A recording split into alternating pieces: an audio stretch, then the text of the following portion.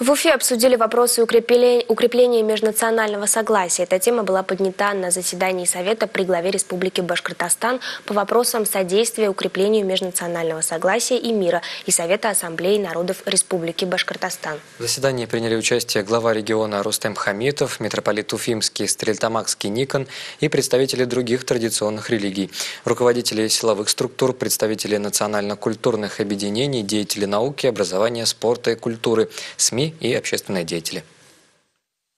Как сохранить и укрепить добрые межнациональные и межрелигиозные отношения? Одними только концертами и праздниками тут не обойтись. Нужен какой-то системный глубинный подход. Площадкой для его обсуждения стал Уфимский конгресс-холл. Вектор для приложения всеобщих усилий обозначил глава Республики Башкортостан. Разработка программы по сохранению и развитию государственных языков и языков народов с подпрограммами башкирский язык, русский язык, родные языки. Второе. Ежегодные гранты главы республики для реализации проектов, направленных на сохранение, пропаганду и развитие государственных языков и языков народов республики. И третье.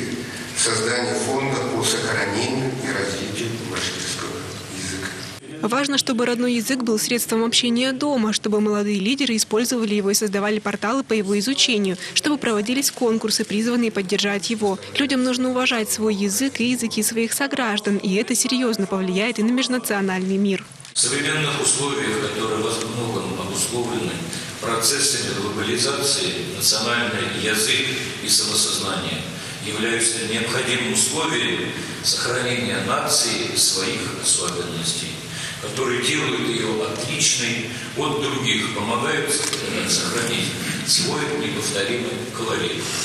В то же время укрепление межнационального и религиозного сознания невозможно без глубокого понимания того факта, что только в многообразии наших культур и верований, особенно в Республике Башкортостан, мы можем обеспечить подлинное гражданское, уважать языки, уважать всех людей, как учит нас, нас, нас главная книга наша, Священное Писание. Мы обязаны это поддерживать для того, чтобы сохранить мир и согласие в нашей республике. Государственное финансирование сохранения родного языка отныне будет увеличено в несколько раз. Однако и от каждого члена общества зависит мир в регионе. Ведь каждый сам выбирает, на каком языке он говорит, работает, творит, подытожили участники заседания.